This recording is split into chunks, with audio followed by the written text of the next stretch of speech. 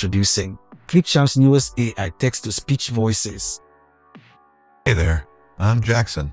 I'm one of the newest AI voices, and today I'm going to be walking you through how to use our text-to-speech feature. Firstly, head over to the Record and Create button, and then select the text-to-speech option. Here you'll see all of our AI voice options, including our eight new voices.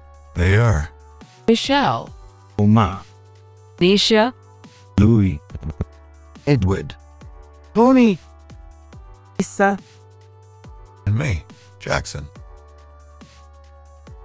Once you've selected the voice you'd like to use, simply enter your text here in the text bar.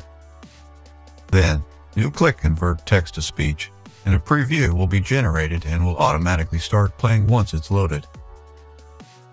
If you'd like to hear your text in another voice, simply select the voice, and again click on Convert Text to Speech. It will generate a preview, which you can then edit as needed. Try as many voices as you'd like, until you find the right one. Once you're happy with your voiceover, click on the Add to My Media button, and your recording will upload straight into your media library. Once you've added all your media into your library, you can begin creating and editing your video. Now, I'm adding my voiceover to my timeline, and then I'll add in my image. I can go ahead and resize my image, and I'm going to trim my content pieces to ensure they all match up. Now that I'm happy with my video, I'm going to hit export and select the quality, the resolution, and the title I want.